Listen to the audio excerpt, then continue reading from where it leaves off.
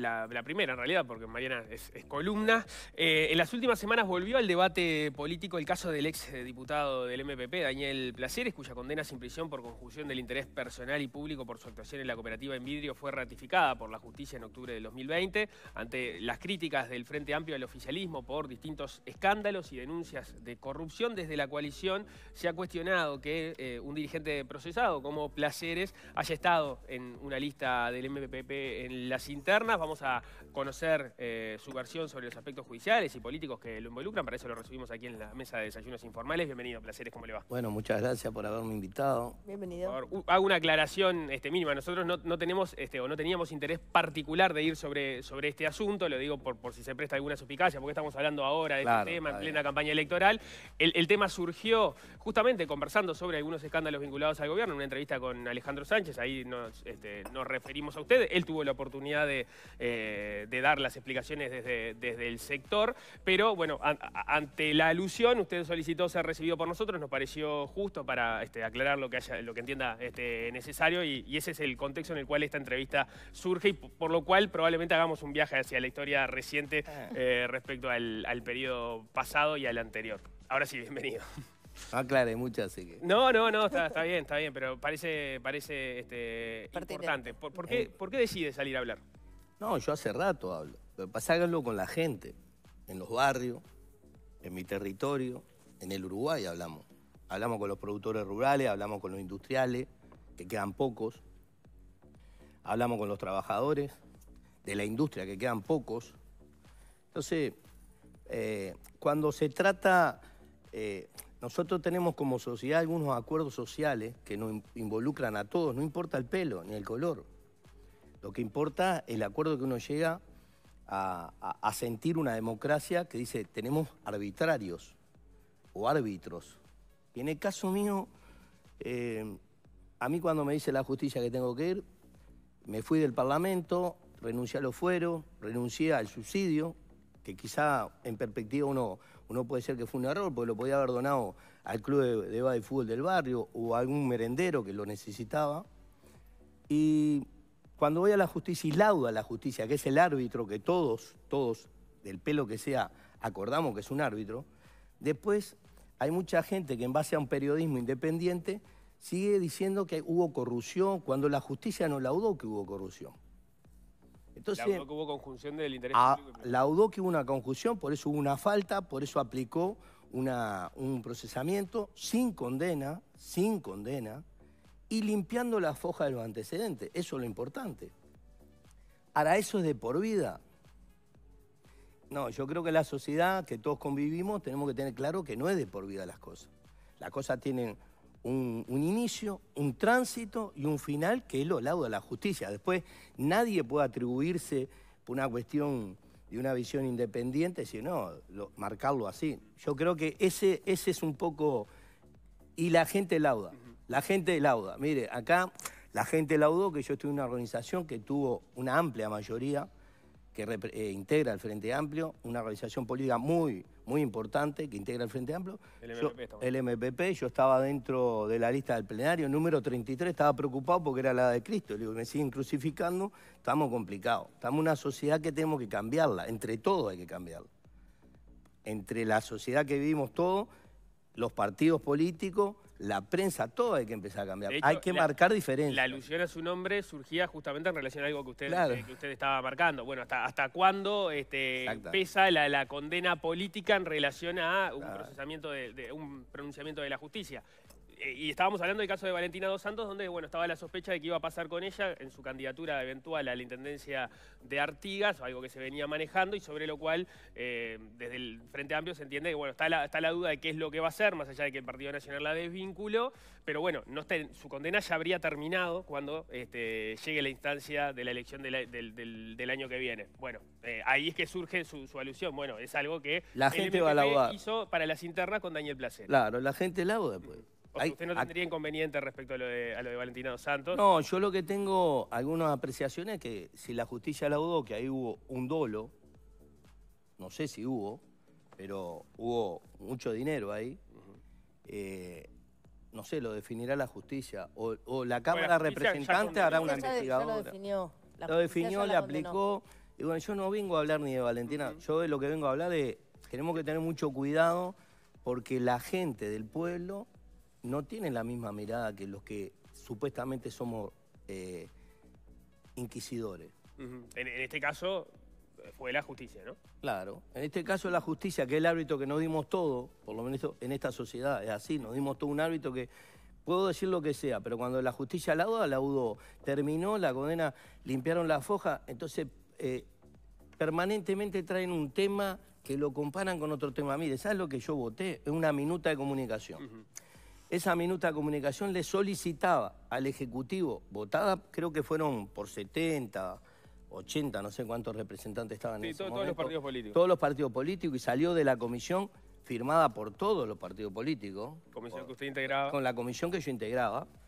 Es que yo fui al Parlamento representando a, una barra que son de trabajadores y a una fuerza política, pero que necesariamente soy representante de una clase de trabajadores y fui al Parlamento representando eso, la autogestión, rescatamos industria. Me gustaría ir hacer una precisión. Entiendo lo que estás diciendo, pero siempre que se habla del tema de la minuta de comunicación, se dice, bueno, fue una minuta de comunicación, pero la justicia entendió que eh, tú promoviste, fuiste informante, votaste la minuta. No solo eso, sino que además no informaste a la Cámara tu vinculación. Sí, ese fue mi error. Exacto, pero bueno, entonces... Eh, de acuerdo al artículo interno de la Cámara, uno tiene que... Eh, si vos tenés una vinculación, por un caso no podés ser parte Y, omitir... Yo puedo, yo puedo emitir opinión y hablar, pero yo no puedo ir más allá porque el 120 de la Constitución te avala que las palabras y los dichos, los dichos de los legisladores no son vinculantes. Mm. Entonces, eh, podía haber eh, generado hacia la Suprema Corte eh, y no lo hice. Está, pero vos, entendés que, o sea, no es... Cuando uno dice, bueno, es solo una minuta de comunicación, no es solo una minuta de comunicación. No, yo peleo por la industria nacional. ¿Sabe, ¿Sabe cuántas minutas de comunicación hemos sortado en el periodo que yo tuve para salvar los citrícolas? y yo lo voto con las dos manos porque el trabajo de la gente no se puede jugar. Ah, perfecto, pero vos entendés que vos promoviste, informaste y, omitiste... Es lo que dice la justicia. Es lo que dice la justicia, eh, entonces... yo acaté lo que dice la justicia. Lo que te quiero decir es cuando se trata de justificar que fue una cosa menor, en realidad no es algo menor porque la justicia justamente no, pero comparado con el dolo sí es menor. Comparado con 8 millones de dólares, mire, comparado con 8 millones de dólares, no estoy comparando. ¿Pero lo queremos comparar? No, en realidad la abstracción yo no lo comparo. Usted me ha comparado varias veces con el hecho, no, ella, con el hecho de la corrupción generalizada. Y mire, un acto que es un derecho, como el seguro paro, votar un seguro paro y una minuta de comunicación no, es un hecho de corrupción. Pero eso, no, acá la abstracción que me parece que, hizo la ciudadanía en su momento y que es válida también hacer, es que usted participó de un acto legislativo para beneficio personal suyo y para beneficio personal de negativo, mire. familiares de usted directo, ¿no? Totalmente negativo, mire. En el fallo judicial me dieron vuelta la ropa y no se me cae un peso me fui del Parlamento con la misma moto no usted que se llevó plato o no se llevó no, plato. pero lo que acaba de decir. No, no, digo que el acto legislativo benefició a la empresa donde usted estaba, ¿verdad? y a familiares que trabajaban claro, y benefició a varias empresas. Eso es lo objetable. Eso es lo que dijo la justicia y yo lo comparto. Dijo Entonces la no, no hablemos de minuta porque estamos hablando de que usted siendo diputado de gobierno del sector más votado, bueno, tuvo estos, estos comportamientos que son Por eso pagué y terminó la pena. Y bueno, y, pero ¿sabe por qué la pena y estamos en un momento electoral que traen a colación determinados casos. Yo, yo le agradezco que lo traigan Fue porque, quien habló de, mezclan, mezclan el tema de placeres con todo lo que pasó en este gobierno. Pero hay muchas cosas más que la, que la justicia no la Yo ando en la calle, yo ando en la calle, soy un hombre de calle, ando en la calle, en los barrios, en la feria. Sí. Y digo, la verdad, la verdad, eh, tengo abrazo de todo el mundo. Entonces, la pregunta es, eh, Estamos en un momento que tenemos que, tratar de no mezclar determinados casos que son faltas administrativas con otro tipo de falta. Y eso la prensa tiene que ayudar. Claro, pero nosotros estamos este hablando de todo este capítulo suyo de nuevo, porque en realidad Yamandu Orsi habló de falta de honestidad en este gobierno, ese centro lo levanta la, y está bien el oficialismo y empieza a hablar de ¿Cuáles son los elementos poco transparentes que, existieron en las pasadas administraciones del Frente Amplio? Y uno es el suyo, no solo por lo que laudó la justicia, sino también, por ejemplo, por los 200 viajes fue que hizo a Venezuela. No, 200 no. Dicen es... tenía mucha plata. Habían, habían dicho así Ah, usted investiga poco. usted no, para ser periodista dígame, independiente dígame cuántos investiga fueron. No, dígame cuántos fueron. ¿Eh? Dígame cuántos Yo sé fueron. cuántos fueron a esta altura. ¿Sabe cuántos fueron? No, no me acuerdo. Ah, bueno, fueron un montón, ¿no? Eh. Y fue como titular o directivo de una sociedad anónima, ¿verdad? No, ¿Cómo qué fue? como Daniel Placeres, como ciudadano. Sí, no estuvo vinculado a ninguna sociedad No, anónima en esos viajes. no. Bueno, porque ¿sabes qué? Como faltaba información y transparencia acá, en su momento la oposición pidió hacer una, este, una comisión investigadora al respecto. Y el Frente Amplio no, no dio los votos. Entonces ahí decimos de nuevo, porque Yamandú Orsi habló de falta de transparencia, porque la- el oficialismo de hoy levanta el guante y dice, bueno, ¿dónde hubo falta de transparencia? Quisimos investigar ese Amandú viaje Orsi suyo. lo que dijo lo apoyo totalmente. Quisieron Mire, investigar sus viajes Hay una Venezuela no preocupación, mire, hay una preocupación que tenemos una de las mejores fórmulas que va a ganar este gobierno. Tenemos un educador y una ingeniera a la cabeza. Eso demuestra que hay una visión de desarrollo para el país. No tenemos otro tipo de, de profesionales. Tenemos un educador y tenemos una ingeniera. Y eso es lo que está molestando. Yo sé que me traen a, a colación a Daniel Placeres porque represento, integro un espacio que marca una tendencia dentro del Frente Amplio importante y que tiene una amplitud, el espacio 109, importante. A tal extremo que trae, abre las puertas y trae a mucha gente a trabajar dentro del espacio. Yo sé que es así. Eh, pero no me preocupa porque nosotros tenemos una herramienta muy fuerte como organización política, que es una herramienta que se le dice la pinza, que es trabajar en las organizaciones sociales como lo hacemos, trabajar en los territorios como lo hacemos y trabajar en la institucional como lo hacemos. Es muy legítimo todo lo que dice, pero además de todo eso también representa un momento donde faltó transparencia en la gestión del Frente Amplio. Usted también representa eso. No sé, yo represento a los trabajadores que no tienen laburo en el Uruguay, que se quedaron sin industria y en el 2000, cuando ganó el Frente Amplio en el 2005, el presidente Tabaré Vázquez desarrolló una estrategia de empezar a reactivar industria para generar, rescatar oficios. ¿Sabe qué pasa? En Uruguay hay 600.000 trabajadores que viven con menos de lo que es el valor de una canasta básica que anda en el error de 95 mil pesos y ganan 25 mil pesos. Pero, eh, ¿Sabe qué pasa? Nosotros pertenecemos a una tendencia industrial que está de- tendiendo a desaparecer la manufacturación, pero peleamos por la industria nacional. Y en mi zona donde yo vivo, el productor que produce nacional la horticultura, estamos con ellos. En la industria, en la zona que yo vivo, estamos con ellos. Y estamos con los trabajadores. Yo pertenezco a eso. No me puede decir eh, qué definió. defendimos me eso. parece que y estamos vamos a seguir defendiéndolo. Ah, pero se están mezclando un poco las cosas. Una cosa es defender a los trabajadores, que, que está muy bien, por supuesto, y, y es recontra válido. Y otra cosa es por qué vuelve todo este tema sobre la mesa, que es lo que planteaba Ana hace unos minutos, que es por el planteo de Orsi, porque lo recoge la oposición y dice, bueno, en los gobiernos del Frente Amplio también hubo situaciones de irregularidades, eh, hubo procesamientos, y ahí es que aparece su caso. Entonces me, me parece que hay que, Sí, se- pero hay que está bien separar. eso Hubo que sospechas que se que está que mal, lo que está mal no establecer un, investigaron. un- un parámetro de corrupción, porque yo puedo pensar que la corrupción abarca muchas cosas y la corrupción abarca cuando el bien común desaparece y aparece el bien privado que uno genera ingresos para uno. Eso es la, la corrupción. En el caso mío, no está establecido, porque siempre se bregó por el bien común. Votar un seguro de paro, que es un derecho, es un bien común.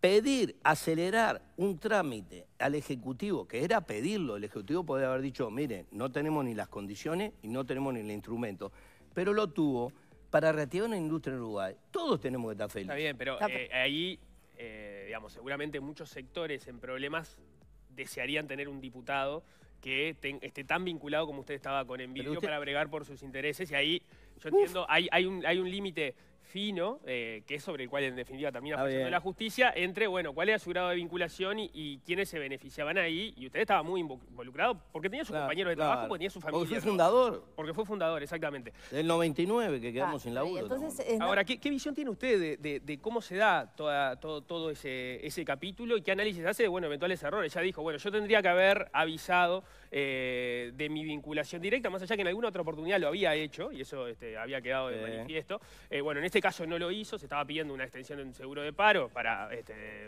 en definitiva, para, para su familia, sus amigos y sus compañeros.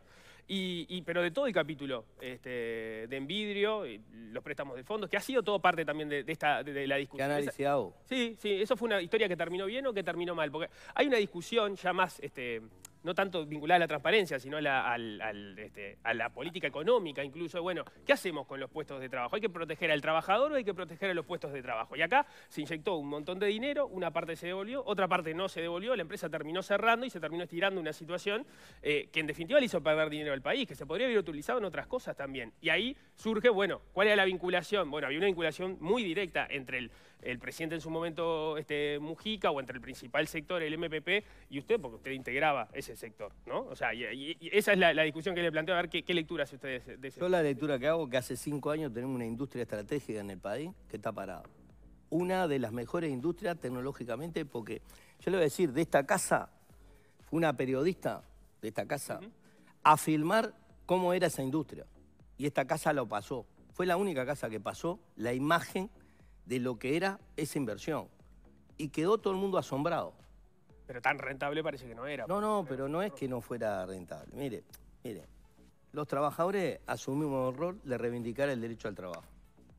Esa es la verdad. En el 99 ocupamos una fábrica reivindicando que no podíamos quedar en la calle porque eso, esos ladrillos eran nuestros. Eso tuvo un periplo de lucha que empezó a laudarse en un proyecto en el 2004. En el 2005 se establecieron unos un proyecto se presentó en el Banco República, en la cual tuvo fruto en el 2007 en 250 proyectos presentados, salió séptimo. Tuvimos unos recursos para arrancar un, emprendimiento. Del 2008 que se inauguró hasta el 2015, laburó a full esa fábrica. Generó mucho rédito al Estado. Se pagaron en el Banco República, en el primer crédito, 5 millones 100. Se le pagó al Banco República. O sea, y cuando el mercado te va exigiendo modernizarte y empezar a nutrirte de que eh, tenés que cambiar la lógica de la, de la estructura de la industria para mejorarla, se tuvo que hacer una inversión. Se hizo una inversión de 29 millones de dólares. 29. O sea, los trabajadores, con alguna parte de la academia. ¿Y cuánta plata quedó sin devolver de los préstamos que habían obtenido? El fonde no quedó. El único que quedó del fonde no quedó. 11 millones y medio, no se devolvieron. ¿Y Nefop se devolvió y, todo? Y el FONDE, y el fonde eh, presentó una licitación y, lo colocó en un privado que pagó, creo que el privado que pagó por la fábrica, 1.200.000. Porque ahí, ya dejando de lado la discusión penal, porque de hecho... Pero usted eh, me decía cuál era el, análisis final, y le termino el análisis final. Porque el, fondo, fue para adelante con ese préstamo en contra de una visión, este, un asesoramiento técnico desde adentro mismo, ¿no? No, no sé, no. No, sí, lo dice Pacheco. Pacheco dice, no, es un tema penal, pero bueno, es una decisión cuestionable. Pero en ese momento en términos políticos. Eh, en realidad, pero no es cuestión de, pero, le hago el, resultado, el resultado final. El resultado final, ¿cuál fue? dice la justicia, déjeme, no, sé. Déjeme cerrar porque... Claro, ¿cómo se le asignó a usted? Él, él, me hizo una pregunta interesante. El resultado final es que el Uruguay tiene una industria parada, estratégica, en la cual el Uruguay importa más de 30.000 toneladas de vidrio importado por año. Más de 30.000. Y usted hace número, ¿qué pasa con ese vidrio? Olvídense de placer. Olvídense de placer. Esa visión que usted pone eh, estaría muy bien en la medida de que eh, el vidrio hubiese podido devolver el dinero. Está bien, pero ¿sabe qué pasa? No lo devolvió en vidrio por determinada característica, cayó la pandemia. Hay que ver todo el contexto. No, no, no, la pandemia cayó. Fue no, bastante no, posterior. 2019. No, la, pandemia cayó en 2020. el 13 de marzo de 2020. En, 2020. En, vidrio, ¿sabe cuánto tenía de atraso de cuota los compañeros? Una cuota, 250 mil dólares. Pero estaba tan politizado el tema que no hubo apertura. Yo creo que, yo creo que si hoy el propio presidente, que después hizo un ministerio de Medio Ambiente, eh, nosotros después, estuvimos hablando con Peña del tema, eh, la verdad que tenía una visión estratégica también, pero el presidente dio una visión estratégica, no, no, no intentó resurgir eso. Capaz que hoy... Pero es que no estaban pudiendo pagarlos. Eh, pero lo que digo es, cuando alguien coloca esa industria, a alguien, a un factor privado, porque entiendo que usted no los trabajadores no pudieron, tengo que aparte al privado darle un respaldo muy fuerte para que reactive eso. Yo lo que digo es que el Uruguay no se puede privar de reactivar una industria que usted pasa y está dormida con la última tecnología. Está dormida, pasa atrás del estadio Troco y eh, está dormida. Entiendo que también pueden decir, bueno, uno no se puede dar, no se puede dar que se mantenga a forceps viva una industria con dinero que después no se devuelve. porque ese dinero también puede ir, o sea, con ese criterio, cualquier industria que hoy en día en el país no está siendo rentable puede Nosotros tenemos, tenemos, tenemos, visiones muy distintas con respecto a la devolución. Este país vive de impuestos. Este país no tiene población para el mercado que dice que el mercado manda. Entonces tenemos un país, tenemos una visión liberal que dice el mercado manda, pero el mercado este es chico, 3 millones 400, tenemos más vaca que gente.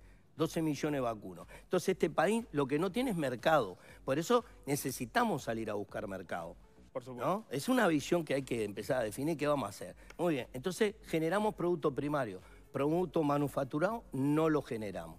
Se está achicando cada vez más. Son todos, vendemos solo producto primario casi, los que exportamos. Entonces es un país que necesitamos ayornarnos a decir cuál es la estrategia que va a venir.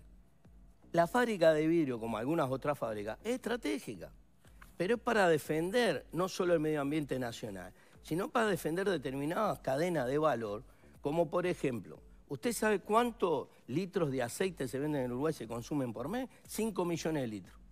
¿Sabe cuánto produce Uruguay? 2 millones 200. ¿Sabe cuánto se importa? 2 millones 700. Entonces digo, ¿y en qué se importan? Todos polímeros. Todos son polímeros.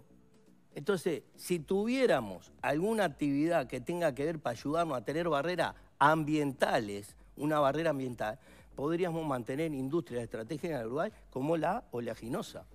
Entonces, yo lo que veo que a veces hay una discusión que es muy politizada y se lleva a un plano y creo que tenemos que ir a un plano y decir, ¿cómo generamos el trabajo para la gente? ¿Cuál es realmente? Puede ser que alguna industria hayan fracasado porque los trabajadores no supimos gestionar. Estoy de acuerdo. es el caso de Envidrio. ¿no? Estoy de acuerdo. No, no, no supimos gestionar. Estoy de acuerdo. No es solo en vidrio. Hay más privados, hay factores privados. Mire, yo... Ah, pero en vidrio es un caso claro, ¿no? es, no, es no es como... En, todo esto es como que todo...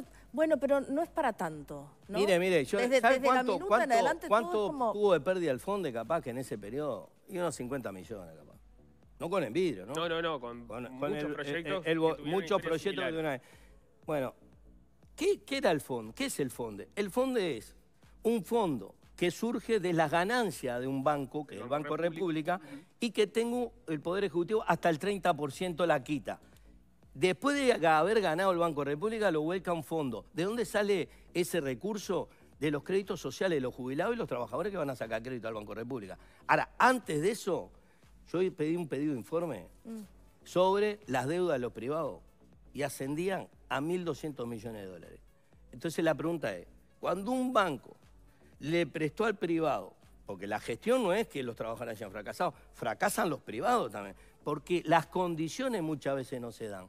Eso que decimos que vamos a tirar un producto al mercado y no tengo mercado y tengo que salir a buscar productos afuera. ¿A usted le parece que en el Banco República el dinero al privado no se le da si hay un informe técnico que desaconseja prestarle esa plata? Bueno, mire, yo... Porque eso fue lo que pasó en Yo hice un pedido de informe en aquel momento y había grado 5. Grado 5 es cuando usted no, puede, no puede volver nada. ¿Y se le seguía prestando con grado 5? Sí, pero estoy hablando año 97 hasta el 2007. ¿eh? Ah, bueno, está. estoy hablando, estoy hablando eh, cuando yo hice un pedido, ah, digo, ah, decime cómo... Vamos a hablar de historia reciente, ahí... No, no, pero... O sea, el Banco República hizo un cambio. Eh... Desde 2007 para adelante hubo un cambio el Banco República. Pero igual se siguieron prestando y hay deuda. Si uno hoy puede decir cuánta deuda tiene, pero es porque la gestión del privado es netamente mal muchas veces el privado no es que fracase, las condiciones no ameritan, no ameritan a seguir en el mercado. Este es un mercado que no crece, no crece. Estamos desesperados para ver dónde conseguimos nicho de mercado. Claro, pero por eso, por eso la idea del fondo es que puede ser muy, muy, muy, muy defendida, utilizar las ganancias o parte de las ganancias, no eran todas las ganancias del banco para financiar determinados proyectos productivos, tiene sentido en la medida de que esos proyectos productivos tengan cierta viabilidad. y para saber si tienen cierta viabilidad, tienen que haber información técnica que respalde que ese dinero se debe prestar. si en realidad se termina prestando para compañeros políticos, parece ser un problema. No, no, no, no. Bueno, sobre esto también... No, no, no.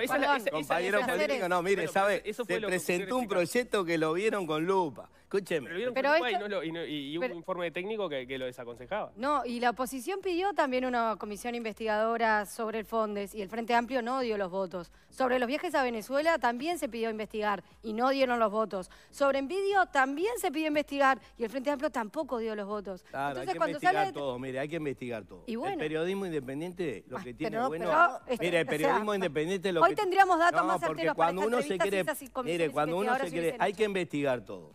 Hay que investigar las relaciones que puede tener uno con algún familiar vinculado a un tema y que permanentemente está tirándolo. ¿A, qué, se...? Ah, ah Cualquier persona puede estar... Mire, yo estuve en el Parlamento... Los lecheros que tenían eh, la parte de tambo, tenían que votar, algunos legisladores tenían tambo, tenían que votar y lo único que pedían eh, es la autorización. Yo no la pedí, yo no la pedí. ¿Me equivoqué? Me equivoqué.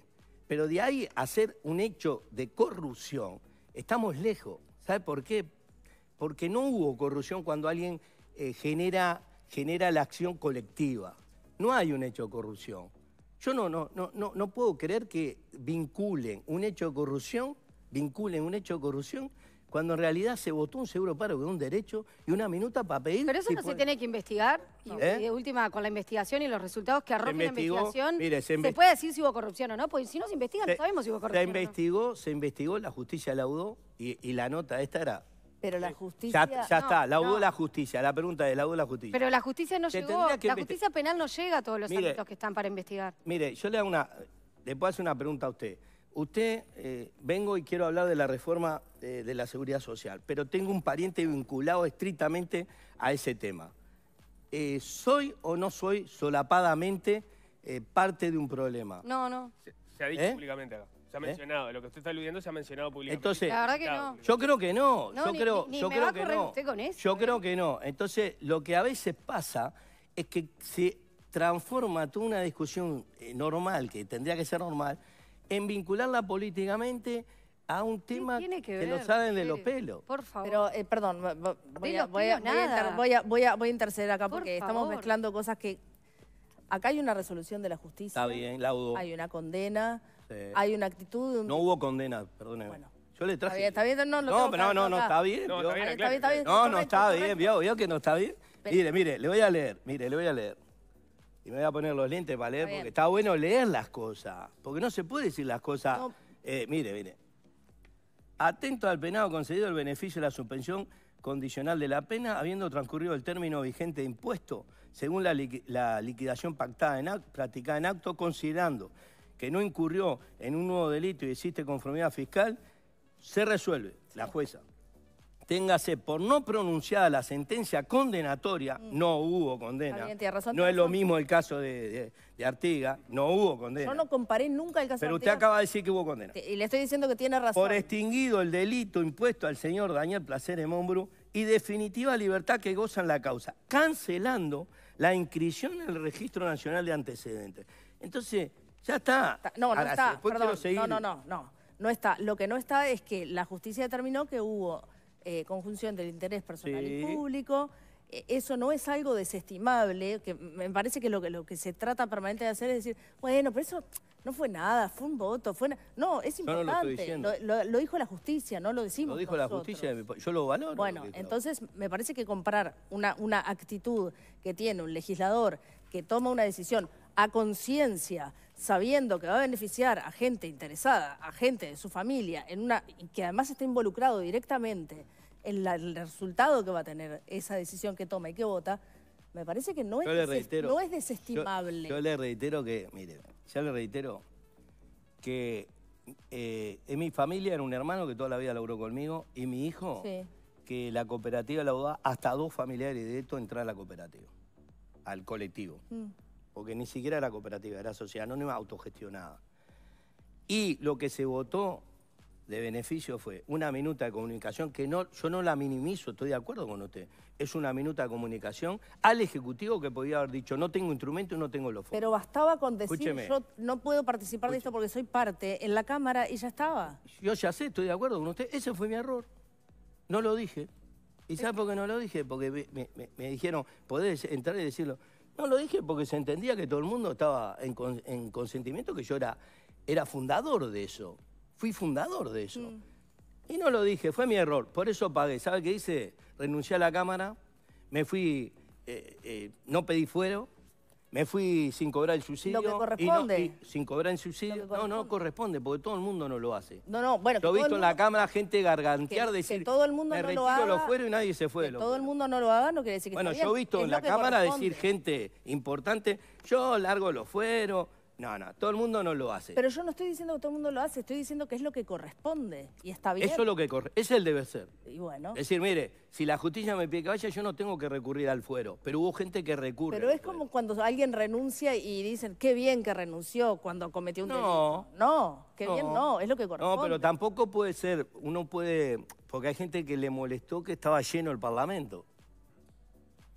Pero tampoco uno puede ser tan iluso que si la gente siente que tiene que tener un respaldo frente a alguien que entiende que hay una injusticia, es el pueblo, porque si mañana el pueblo, yo estoy tranquilo que no voy a estar en, hoy en la lista, No, no va a ir a la lista de no, diputados. no, no voy a estar en lugares que- en lugares salibles. Eh, integrar, integro yo la Dirección Nacional del MVP y, so- y estoy muy orgulloso de ser. ¿Del MLN también? ¿O ¿Eh? Participo en la organización del MLN? Eh, pero la dirección. No, no, la dirección no. La falta de transparencia igualmente voy a insistir porque me parece un punto que es eh, importante, se mide también por ¿Cómo la negativa a querer falta- investigarlo. Le gusta a usted la falta de transparencia, pero Sí, escúcheme. La verdad que es el tema que nos le, convoca. le gusta, le gusta, le gusta. Pero para hablar de la falta de transparencia tendríamos que tirar pilas de tema. Y, y lo que yo vine a hoy a decir es decir, mire, la justicia la do, ese es el árbitro que nos damos todo. ¿Cuál es el árbitro? Mm. Nosotros estamos en una, una democracia que, escúcheme, es una democracia que tiene elementos de alternancia y republicanismo. Esa es la democracia que nos dimos. Ese es el pacto social, el pacto social del Uruguay. Cada país tiene un pacto social distinto. Y a veces lo queremos cuestionar de un lado y del otro. Pero el pacto social del Uruguay es decir, estamos en republicanismo, es un- un país republicano y tenemos alternancia. Bueno, ¿sabe qué pasa? No tenemos tanto problema, porque lo definimos entre todos. Después tenemos estos chiporroteos, cada vez que vienen las elecciones, sacamos una cosa, sacamos otra. Pero me parecía bueno explicarlo a ustedes, y yo le agradezco al canal porque siempre vengo al canal este, porque eh, es verdad, vi algunas entrevistas con usted hace algún tiempo y lo... Siempre le agradezco, yo siempre por suerte, por suerte vienen todos. Que hay buena gente, mire que a veces los chiporroteos, es buena gente, es buena gente. Paso limpio un par de puntos entonces. Usted fue procesado por la justicia, el caso está cerrado. Eh, usted reconoce el error que le imputó la, la justicia sobre la visión eh, ya de política económica, eso que creo, yo creo que Fito García en algún momento lo llegó a mencionar como neodesarrollismo en relación a, bueno, cómo era esa mirada sobre este, el desarrollo que sobre todo se dio en el gobierno de, de- de José Mujica eh, que- y que tuvo estos, este, estos episodios. Luego se continuó el, el- el tema en vidrio en el, en el gobierno de Vázquez, en el segundo. Eh, ¿Usted cree que lo que viene del Frente Amplio va a ser parecido a eso? Lo que viene del Frente Amplio, Y que comparte, o sea, y, y- y que usted y Orsi, por ejemplo, están alineados en esa mirada. No, yo estoy alineado con Yamandú y con ahora con Carolina Cose, que es la fórmula, porque es una fórmula que a mí me llena porque es muy explosiva. Tengo un Pero educador... en, en la mirada sobre ese punto. en- Pero mire, tengo un educador y Y un ingeniero. Y, y- y yo creo que tiene una visión de país de desarrollo. Entonces, eh, que está basado en dos pilares, en la educación y en el desarrollo en la parte de país que tiene que ver con la todo esto de la ingeniería. Nosotros, en los 15 años de gobierno del Frente, eh, se creció a nivel de salario comparativamente en año como ningún otro gobierno, en salario, porque tomó un parámetro de medir el crecimiento del PBI, tomó el parámetro de, distribución, el parámetro que tomó fue el salario, y lo, y lo fue cada vez más desarrollando. Y a mí me parece que eh, Orsi creo que va a dar, va, yo creo que va a ganar la fórmula porque estamos trabajando para eso. Eh, la gente que eh, andamos en los barrios, en los territorios, tenemos esa sensación. eh, y es lo que palpa la gente. Y creo que Yo el esto trabajo porque que... usted sabe que, que esa, esa, mm, prédica de él, el- el- aquello que se, se ha recordado, porque la frase era muy elocuente, esas velitas al socialismo que se prendieron en el gobierno de Mujica, no son recordadas como la mejor parte de, de la historia en la medida que algunos proyectos como este Bueno. no terminaron funcionando. Entonces, por eso le pregunto si hay una lectura eh, crítica a propósito de, de cómo se dieron eso- este, Mire, esos impulsos al desarrollo en relación a lo que puede venir en un nuevo gobierno del Frente Amplio. Nosotros partimos de una organización que es de ensayo y error. Eh, y de movimiento. Inclusive Jorge Drelli hizo una canción que se llama Movimiento. Si querés que algo se mueva, muera, déjalo quieto, dice. Nosotros nunca nos quedamos quietos, porque las sociedades se van transformando. Esta sociedad que estamos viviendo no es la que yo viví en los 90. Hoy hay casi un cambio civilizatorio de la gente joven. Yo, la verdad, yo para aprender máquina tuve que ir a hacer unos cursos en la PINMA. Hoy los gurises con cinco años nacen con el celular casi. Y usted uno, uno pregunta, ¿cómo tienen la capacidad de aprender? Y ya viene como inclusivo el tema. Entonces yo creo que estamos frente a una situación de, de debate sobre la generación de empleo, si va a seguir siendo, sobre la participación de los trabajadores en la renta de las empresas, sobre el salario cuál va a ser, porque el salario a partir que se abrieron los mercados, el salario pasó a, estar en la ecuación de costo, el salario. Y el salario no es infinito, lo que es infinito en esta sociedad es el consumo. El mercado de consumo infinito, todos los días aparece algo nuevo que todo el mundo se quiere comprar, pero el salario mío no me da para comprar todos los días. Entonces estamos en un debate que creo que entre todos nos tenemos que ayudar, la prensa, los sectores políticos, y sacar esa mirada, pues somos un país chiquito. Yo creo que somos... Mire, yo tengo grandes amigos empresariales que no piensan igual que yo de izquierda. No piensan igual que yo. Son de, una visión más liberal. Pero nos llevamos bárbaros en algunos puntos, en aquellos que nos acercan. Tenemos que generar trabajo, hay que generar trabajo. ¿Qué, ¿Qué áreas de estratégica tenemos que desarrollar para generar el trabajo que la gente no tiene? Yo creo que cuando dicen las chimeneas se acabaron, es un error. ¿Sabe por qué? Porque lo que pasó, hubo una una mudanza de las industrias para el interior. Crecieron. Tenemos hoy tres pasteras de celulosa, cuatro. Tenemos tres cementeras. Tres cementeras. Funcionaron más o menos, pero hay tres cuatro, No, tres pasteras, ¿no? No, tenemos cuatro pasteras. Está la de Colonia, UPM1, UPM2. Está bien. Escúcheme.